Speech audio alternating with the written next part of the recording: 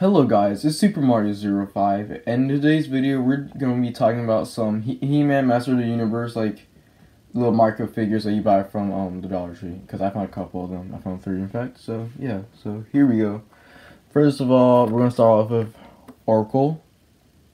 So you see the package is just like the normal packaging they have for like the classics figures. Then it just says Orko and then Mattel and then like the micro collection. Oh, this is not focusing. My stupid iPad's just like falling. That's what it looks like. This Orko. It's a very cartoonish design.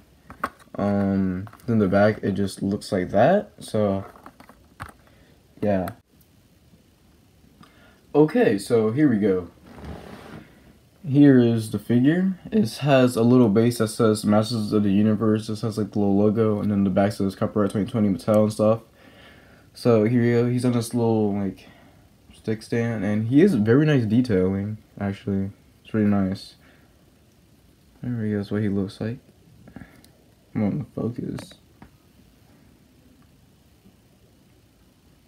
He's pretty cool.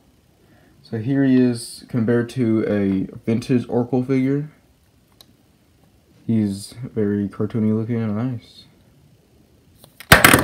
oh. Alright, so next up, we have Merman, which there's nothing different about the package besides says his name. So, so, here you go.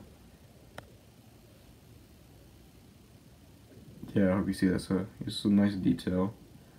Not as good as Orko, or maybe Orko just has a very simple design. But yeah, he's he's a cool figure.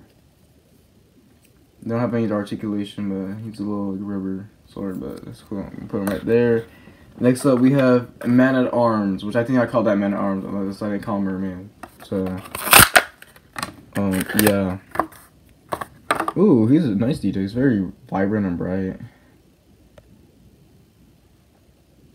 Cool.